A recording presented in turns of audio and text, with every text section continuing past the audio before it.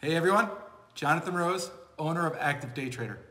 Today we're going to talk about bond futures because right now there's a very unique trade opportunity that I think you'd want to know about. So let me go to the charts and walk you through exactly why this opportunity exists and how we could potentially take advantage of it.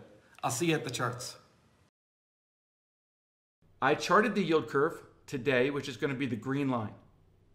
I also put on January 3rd, 2017, so you can see how they're looking relative to one another.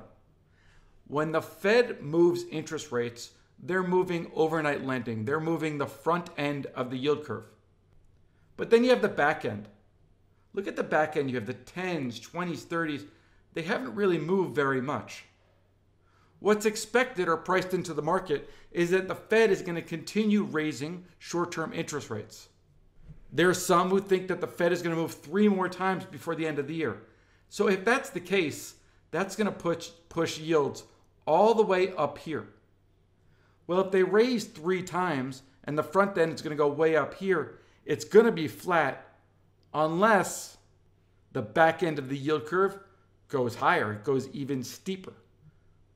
This is considered steep relative to right now, which is considered pretty flat. The way to take advantage of this?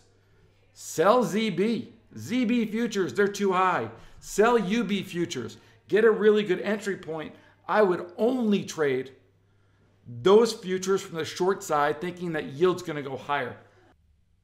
For those who found this interesting, please join me for a free presentation next Thursday, March 15th at 4:30 Eastern Time. It's completely free and I'll walk you step by step through the most exciting futures trade I know. Thanks, Jonathan, active day trader.